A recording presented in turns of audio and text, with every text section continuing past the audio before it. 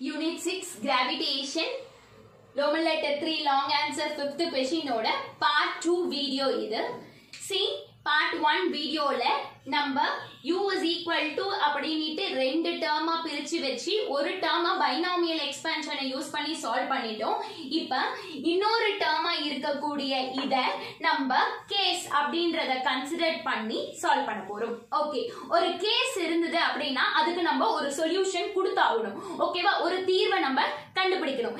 இந்த இடத்துல எப்படி நம்ம தீர்வை கண்டுபிடிக்க போறோம் அப்படின்னா Newton's second law of motion Newton second law of motion சொன்ன உடனே உங்க மைண்டுக்கு வரக்கூடிய formula F is equal to M into A கரெக்டா force is equal to mass into acceleration அந்த ஃபார்முலாவை யூஸ் பண்ணி இதை நம்ம சால்வ் பண்ணிடலாம். ஓகே நான் இந்த ஃபார்முலாவை ரீமேக்கா F is equal to M into ஜின்னு போட்டிருக்கேன். ஏன் நான் அப்படி போட்டிருக்கேன்? இந்த கொஸ்டின்ல நம்ம கன்சிடர் பண்ற கேஸ்ல ஒரு பொருள் என்னதான் ஆசிலரேட் ஆனாலும் அது கிராவிட்டி ஏற்படும் சோ ஆசிலரேஷன் வந்து டியூ டு கிராவிட்டியா இருந்ததுன்னா நம்ம எப்படி மென்ஷன் பண்ணணும்? ஜி அப்படின்னு மென்ஷன் பண்ணோம். அதனாலதான் இந்த ஏவை நான் ஜின்னு போட்டாச்சு. இந்த இடத்துல சொல்லப்படுற ஃபோர்ஸ் வந்து பாத்தீங்கன்னா நம்ம கேஸ் வந்து கிராவிட்டி தான். சோ கிராவிடேஷனல் ஃபோர்ஸ் கிராவிடேஷனல் ஃபோர்ஸோட ஃபார்முலா என்னது?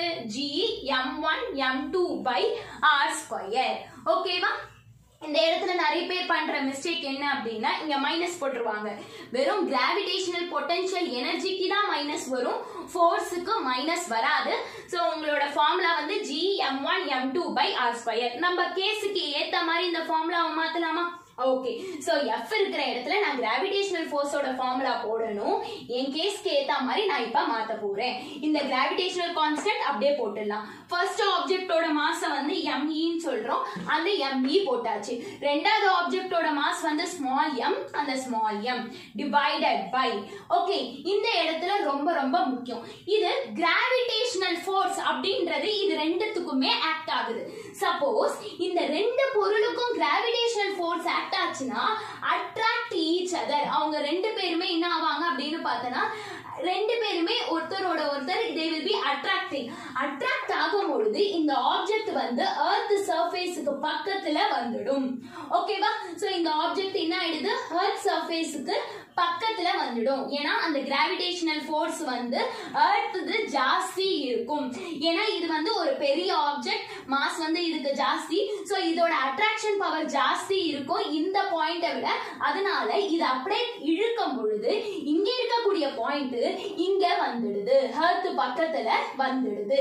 அப்ப ஹர்த் பக்கத்துல வந்துடுச்சுன்னா the distance between two object என்ன ஆகுது ஹர்த் இங்க வந்துடுது அப்ப ஹர்த்தோட சென்டர்ல இருந்து இந்த ஆப்ஜெக்டோட எட்ஜ் வரையும் தான் டிஸ்டன்ஸ் பிட்வீன் டூ ஆப்ஜெக்ட்னு சொல்லுவோம்.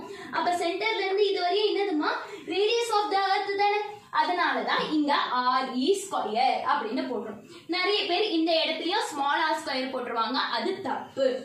ஏன்னா கிராவிடேஷனல் ஃபோர்ஸ் அப்ளை ஆகும் பொழுது அர்த்தோட அட்ராக்ஷன் ஜாஸ்தி ஆகி இந்த ஆப்ஜெக்ட் ஹர்த்துக்கு கிட்ட வந்து ஒட்டிடும்.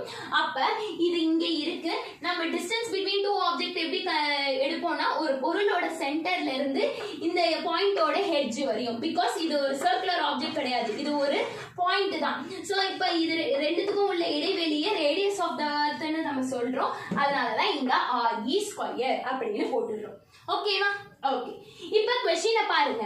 G M E M by R E இத சால்வ் பண்றதுக்கு தான் நான் இந்த கேஸை எடுத்து இந்த F is equal to MG தான் எல்லாம் போட்டேன்.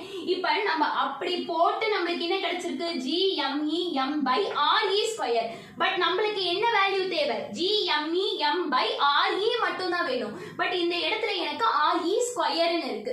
ஸோ இந்த இடத்துல ஒரு ஸ்கொயர் போகணுன்ற காரணத்தினால நான் என்ன பண்ண போறேன்? மேல ஒரு ஆர்இய மல்டிப்ளை பண்ணுவேன்.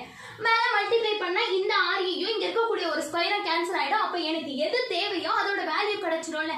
அதுக்காக இந்த பக்கம் நம்ம மல்டிப்ளை பண்ணா ஆப்வியஸா இந்த சைட் மல்டிப்ளை பண்ணணும். அதனால தான் multiply by RE on both sides அப்ப இங்கேயும் ஒரு ஆர்இ இங்கேயும் ஒரு ஆர்இ இந்த ஆர்இயோ இந்த ஆர்இ ஸ்கொயரோ கேன்சல் ஆயிடும்.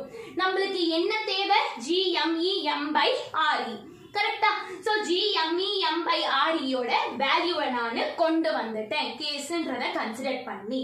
ஓகேவா so G of me m by re is equal to mg of இதை நம்ம ஈக்குவேஷன் ஃபைவ் அப்படின்னு போடுறோம். Substitute equation five in equation three அதாவது இந்த ஜிஎம்இஎம் பை by சால்வ் பண்ணி என்ன வேல்யூ கிடைச்சதோ அதை ஈக்குவேஷன் ஃபைவ்னு சொல்லியிருக்கோம் பார்த்தீங்களா அந்த வேல்யூவை இந்த இடத்துல நம்ம சப்ஸ்டியூட் பண்ண போறோம். மைனஸ மைனஸ்னே நம்ம போட்டுடலாம். இந்த ஜி எம்இ எம் பை ய தான் சால்வ் பண்ணி நம்மளுக்கு என்ன கிடைச்சிருக்கு? எம்ஜிஆர்இன்னு e கிடைச்சிருக்கு. அதை நான் இங்க போட்டுடுறேன். இங்க இருக்கக்கூடிய ஒன் மைனஸ் ஹெச் பை ஆர்இய அப்படியே போட்டுடுறோம்.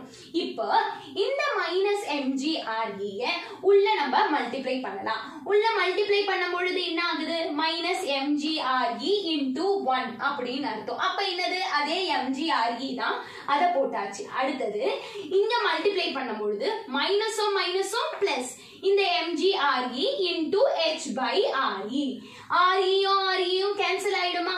அப்ப நம்மளோட பொட்டன்ஷியல் எனர்ஜி என்னது அப்படின்னு பாத்தீங்கன்னா மைனஸ் எம்ஜிஆர்இ பிளஸ் எம்ஜிஹெச் இப்படின்னு கிடைச்சிருக்கு. ஸோ நான் இதை ஈக்குவேஷன் சிக்ஸ் அப்படின்னுட்டு நேம் பண்றேன். ஓகே இப்போ என்னோட பொட்டென்ஷியல் எனர்ஜி எது டிபெண்ட் பண்ணுது அப்படின்றத நம்ம பார்க்கணும். இங்க பாத்தீங்கன்னா ரெண்டு டேர்ம் இருக்கு. ஒன்னு எம்ஜி ஆர்இன்னு இருக்கு இன்னொன்னு எம்ஜி எச்னு இருக்கு. என்னோட பொட்டென்ஷியல் எனர்ஜி எது டிபெண்ட் பண்ணுது அப்படின்றத தெரிஞ்சுக்கணும் அப்படின்ற காரணத்தினால நம்ம இப்ப சின்னதா ஒரு அசம்ஷன் மேக் பண்ண போறோம். இமேஜின் பண்ணிக்க போறோம். என்ன பண்ண போறீங்க அப்படின்னா consider object is again moved from H to H one இப்போ என்ன ஆனா என் பொருள் இங்க நிக்குது இல்ல இந்த பொருளை நான் என்ன பண்ண போறேன்னா இன்னும் ஒரு கொஞ்ச அளவுக்கு தள்ள போறேன். அப்ப இந்த இடத்துல இருந்து என்னோட ஹர்த்தோட ஹெச் வரையும் இருக்கக்கூடிய டிஸ்டன்ஸ ஹெச் ஒன் அப்படின்னு சொல்லியிருக்கேன். ஸோ இங்க இருந்து இந்த இடத்துக்கு நான் தள்ளி இருக்கேன். அப்ப என்ன ஆயிடுச்சு? என்னோட டிஸ்டன்ஸ் ஹெச் ஒன்னு நம்ம சொல்லறோம் அப்ப நம்ம இந்த பொட்டன்ஷியல் எனர்ஜியை பொட்டன்ஷியல் எனர்ஜி வந்து ஒரே கேஸ் தான். என்ன வித்தியாசம்னா எச்ன்ற ஹைட்டுக்கு பதில் இந்த இடத்துல எச் ஒன்னுன்ற ஹைட்டை நம்ம எழுதணும். அப்ப மைனஸ் எம்ஜி ஆர்இ அப்படியே வந்துடும் பிளஸ் எம்ஜி எச்சுக்கு பதில் நான் என்ன பண்ணணும்? எச் ஒன்னு போடணும். ஏன்னா இங்க இல்லை என் பாயிண்ட் இங்க தள்ளிடுச்சு. அப்ப இங்க இருந்து இதுவரையும் உள்ள இடைவெளி எச் ஒன்னு நம்ம எடுத்துக்கிறோம். ஏன் இதை எடுக்கிறோம்னா பொட்டன்ஷியல் எனர்ஜி எதை டிபெண்ட் பண்ணுது எந்த டேர்மை டிபெண்ட் பண்ணுதுன்னு எனக்கு தெரியணும். அதுக்காக. சரியா? சோ இதை ஈக்குவேஷன் செவன் அப்படின்னு சொல்றோம். ஸோ என் ஈக்குவேஷன் சிக்ஸுக்கும் செவனுக்கும் என்ன வித்தியாசம்? இது potential energy with respect to height H வச்சு. இது potential energy with height H one அதனால நான் இதை யூ ஆஃப் எச் இது யூ ஆஃப் எச் ஒன் இப்போ நான் உங்களுக்கு வார்த்தையில சொன்ன பார்த்தீங்களா potential energy height H base பண்ணி எழுதுறதுமா இது? இது எச் ஒன்னை பேஸ் பண்ணி எழுதுனது அது நம்மளுக்கு அடையாளம் தெரியணுன்ற காரணத்தினால இந்த யூவை நான் யூ ஆஃப் எச் இது யூ ஆஃப் எச் ஒன் அப்படின்னு எழுதியிருக்கேன். இப்போ நம்மளுக்கு என்ன பண்ணணும்? டோட்டல் பொட்டன்ஷியல் எனர்ஜி என்னன்றது வேணும். இப்படி எனக்கு ரெண்டு பொட்டன்ஷியல் எனர்ஜிலாம் வேண்டாம். மொத்தமாக எவ்வளோ பொட்டன்ஷியல் எனர்ஜி அப்படின்றது தெரியணும். ஸோ டோட்டலாக பொட்டன்ஷியல் எனர்ஜி எவ்வளோ அப்படின்னா என்ன பண்ணுவோம்? Final potential energy minus initial potential energy எது நம்மளோட ஃபைனல் பொட்டன்ஷியல் எனர்ஜி கடைசியா வந்தது ஃபைனல் பொட்டன்ஷியல் எனர்ஜி இனிஷியல்ன்றது ஸ்டார்டிங்ல இருந்து இருக்கிறது இனிஷியல் பொட்டன்ஷியல் எனர்ஜி சொல்லுவோம். ஸோ டோட்டல் பொட்டன்ஷியல் எனர்ஜியை யூன்னு மென்ஷன் பண்றேன். என்னோட ஃபைனல் பொட்டன்ஷியல் எனர்ஜி வந்து யூ ஆஃப் எச் ஒன் அதை போட்டாச்சு. மைனஸ் என்னோட இனிஷியல் பொட்டன்ஷியல் எனர்ஜி வந்து யூ ஆஃப் எச் ஸோ இதை நம்ம இப்படி போட்டுடுறோம். Okay total potential energy u is equal to u of h1 ஓட வேல்யூ சப்ஸ்டியூட் பண்ணும். U of h1 ஓட வேல்யூ என்னது? Minus mgre plus mgh1 okay minus அந்த மைனஸ் போட்டாச்சு.